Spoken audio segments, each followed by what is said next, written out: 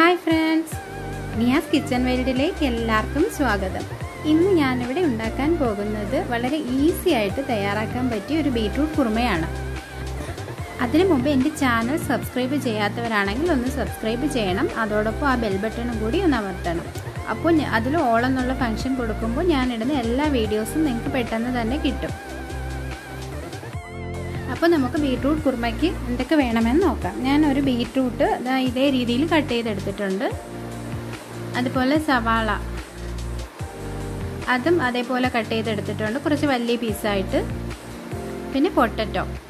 അതും ഈ ഒരു രീതിയിലാണ് കട്ട് ചെയ്തെടുത്തിരിക്കുന്നത്. പിന്നെ ഗ്രീൻ ചില്ലി രണ്ടെണ്ണം എടുത്തിട്ടുണ്ട്. അതുപോലെ തേങ്ങാപ്പാൽ ഇരുന്നൂറ്റി അൻപത് എം എല്ലിന്റെ മെഷർമെന്റ് കപ്പിലാണ് ഞാൻ ഒരു കപ്പ് തേങ്ങാപ്പാൽ എടുത്തിട്ടുള്ളത്.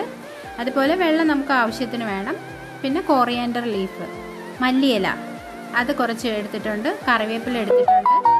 പിന്നെ മഞ്ഞപ്പൊടി ഗരം മസാല പിന്നെ കടുവറുക്കാൻ വേണ്ടിയിട്ട് വറ്റൽമുളകും കൊച്ചുള്ളി എടുത്തിട്ടുണ്ട്. എന്നിട്ട് നമുക്ക് ഒരു കുക്കറിലേക്ക് ഈ ബീട്രൂട്ട് നമ്മൾ കട്ട് ചെയ്ത് വെച്ചിരിക്കുന്ന ഓണിയൻ അതുപോലെ പൊട്ടറ്റോ എല്ലാം ഇതിലേക്ക് ഇട്ട് കൊടുക്കാം. ഞാൻ ഒരു സവാളയും അതുപോലെ ഒരു പൊട്ടറ്റോയും ഒരു ബീട്രൂട്ടുമാണ് ഇതിന് വേണ്ടിയിട്ട് എടുത്തിരിക്കുന്നത്. ഗ്രീൻ ചില്ലി ഇതിലേക്ക് ഇട്ട് കൊടുത്തിട്ട് നമുക്ക് ആവശ്യത്തിന് വെള്ളം ഒഴിച്ച് കൊടുക്കാം.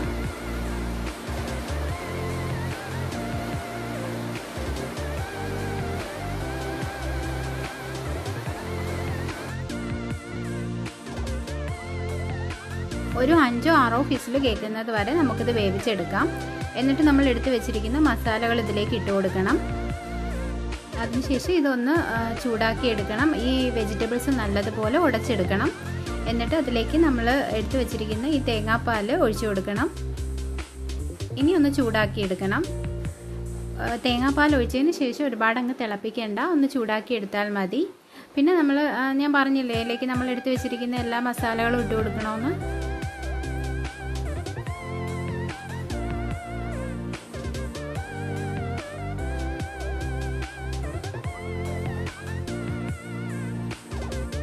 ഇനി ഇതിലേക്ക് നമുക്ക് കുറച്ച് കടുക് വറുത്തൊഴിച്ച് കൊടുക്കാം.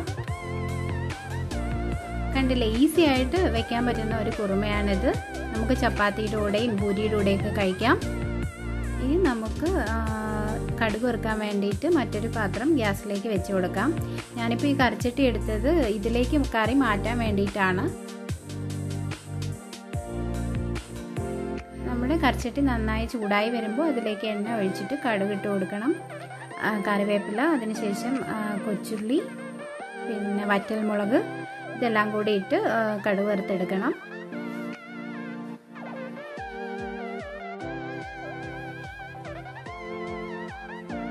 ഇനി നമുക്ക് ഇതിലേക്ക് കുറുമ ഒഴിച്ചു കൊടുക്കാം.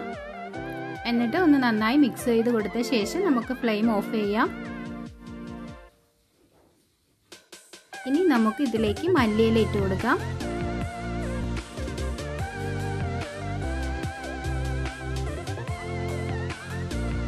ഇപ്പോൾ നമ്മുടെ കുറുമ ഇവിടെ റെഡി ആയി വന്നിട്ടുണ്ട്. കണ്ടില്ലേ ഈസി ആയിട്ട് ഒരു പത്ത് മിനിറ്റ് മതി നമുക്ക് ഇത് ഉണ്ടാക്കിയെടുക്കാൻ ചപ്പാത്തിയുടെ കൂടെയും പൂരിയുടെ കൂടെയൊക്കെ കഴിക്കാൻ വളരെ ടേസ്റ്റിയാണിത് എല്ലാവരും ഇതൊന്ന് ട്രൈ ചെയ്ത് നോക്കണം. ഫീഡ്ബാക്ക് അറിയിക്കണം. ഇനി പുതിയൊരു റെസിപ്പി ആയിട്ട് കാണാം. താങ്ക്